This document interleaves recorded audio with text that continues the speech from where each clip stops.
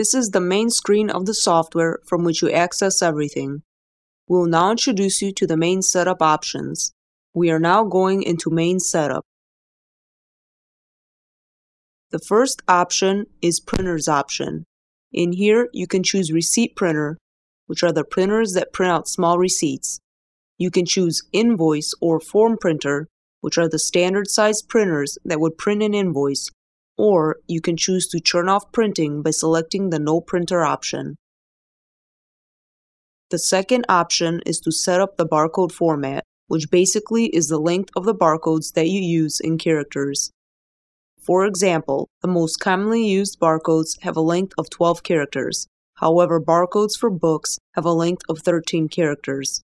So in here, you need to put the maximum length of characters for the barcodes that you will use.